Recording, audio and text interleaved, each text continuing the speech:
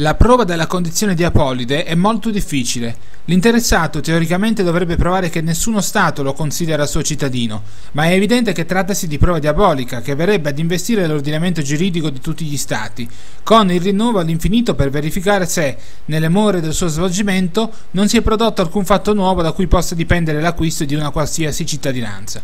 Per giurisprudenza pressoché unanime, quindi, si ritiene sufficiente una prova indiziaria, e precisamente la prova che l'attore non è cittadino del paese di origine dei suoi genitori e che risiede stabilmente nel territorio italiano dove è nato.